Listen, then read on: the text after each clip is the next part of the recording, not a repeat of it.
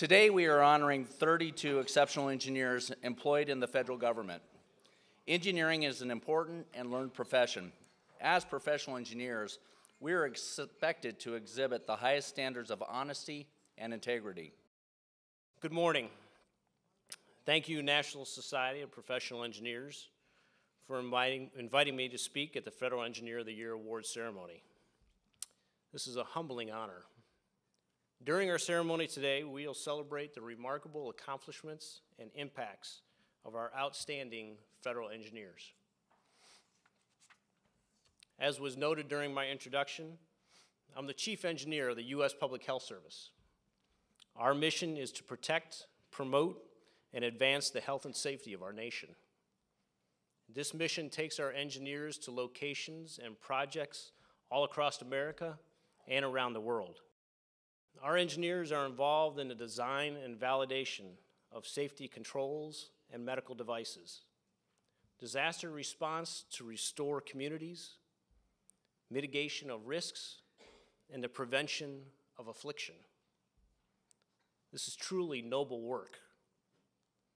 Though it remains daunting to account for that which does not exist or occur as a result of our expertise and compounding impact to have two finalists this year for the Federal Engineer of the Year and previous Federal Engineers of the Year working in public health is remarkable and a testament to the engineering achievement.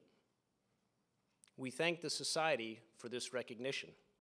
Now we'll return to the mission of the Public Health Service to protect, promote, and advance the health and safety of our nation. Does this mission resonate with you as engineers?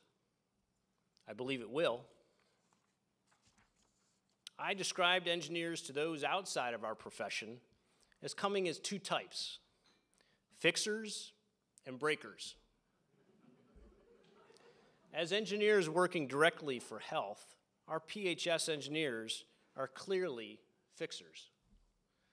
However, there are many engineers whose work is to break things, stressing materials and machines to failure, tearing down buildings, or completing military operations to advance an objective.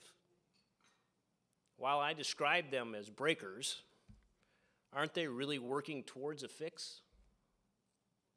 Identifying better materials and designs, ensuring confidence levels and reliable operations, clearing the way for human achievement, and promoting liberty and freedom. So may it be recognized that engineers, as, that may be recognized as engineers, we are all fixers serving humanity. We know that engineering is a noble cause, providing for man's most basic need of health, accomplished through the service of others. To what ends is this service? Our service of engineers is to provide life, liberty, and the pursuit of happiness, to advance humanity towards human underpinnings of prosperity and joy. This is the foundation of society, grounded by engineering, secured through the health of its citizens. Does this, mes- does this mission resonate with you now? As engineers, I welcome you all to the Public Health Service. Since you are now an extension of the Public Health Service, and I am your chief engineer, I am duty bound to issue you a challenge. The theme of this year's Engineer Week is Engineers Invent Amazing. That's the legacy of our profession. Though to continue, we must develop and inspire the young. I challenge all of you here today to develop young engineers in your offices and organizations. Reach back to your universities and your high schools. Engage your local communities and the schools there and inspire the next generation of engineers.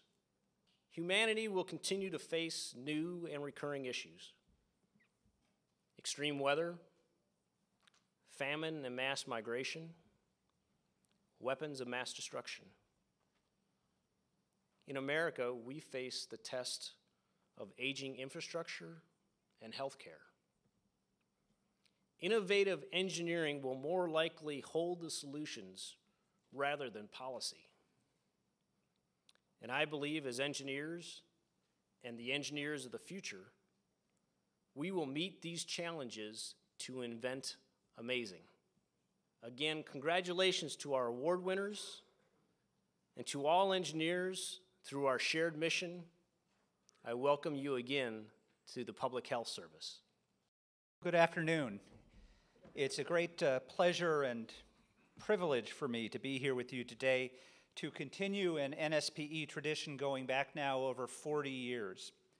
Over that period, the Federal Engineer of the Year Awards Program has honored hundreds of accomplished professional engineers, including many of you here today from past years, and a very impressive group who will be added to that roll today.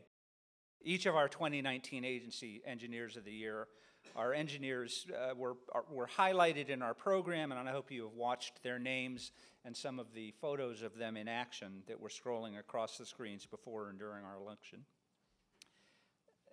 I know receiving a plaque is not probably an unusual experience for many of you in the room, but receiving this plaque, we hope, should mean something more. Because you are being recognized among your professional peers and by your professional peers, people who understand what you face and what you do every day, and wanted to be sure others saw it too. We are proud of you and your accomplishments as engineers. So this year we are recognizing 32 outstanding agency winners. Now we will move on to presenting the 10 engineers among the agency winners who were chosen by our judging panel as NSPE's top 10 federal engineers of the year.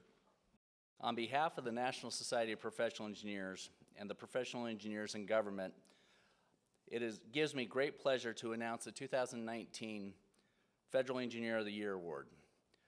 Will you please join me on stage, Major Justin Delorit, PhD, PE, U.S. Department of Air Force, 8th Civilian Engineering Squadron.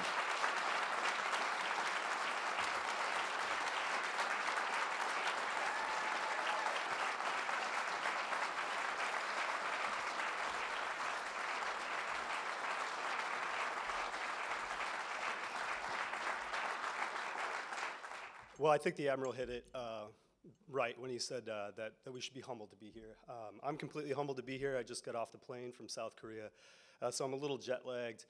Um, but none of us would be here without a lot of support. Uh, so I have a few people I want to thank. First is the Society of Professional Engineers for continually recognizing on, daily uh, the work of, of, of, folks in the private and public sector, uh, and really ultimately acting as a watchdog uh, for all of us uh, to ensure our interests are represented as, as those in uh, professional practice. Um, I also owe a significant debt of gratitude to my wife, Megan, and my two daughters, Josie and Renee. Um, couldn't be here today, uh, but they've been with me every step of the way, encouraging me um, as I've pursued a, a career in engineering. Uh, to my advisor, uh, Paul Block at the University of Wisconsin, who taught me uh, that engineering success is a lot about perspiration and perhaps uh, a little less about inspiration at times. Uh, and then to my current commander, Lieutenant Colonel uh, John Paul Connor at, uh, at Kunsan Air Base for recognizing the collaborative work that we've done together this last year. And, and I'm just honored to have, uh, have been nominated for, for this on behalf of our Red Devil Squadron. the thing I want to leave folks with, I guess, is a, a, quote that my mom put in a card for me a while back that was, and it's been attributed to William Shakespeare and Pablo Picasso and a bunch of other people, but it, it goes like this. It, uh, it says, the purpose of life um, is discovering your talents. The work of life is honing those talents, and the meaning of life, therefore, is giving those talents away. And I think that's what the Admiral talked about today, is really giving those talents away and growing the next generation of engineers, because we've all certainly discovered something we're good at.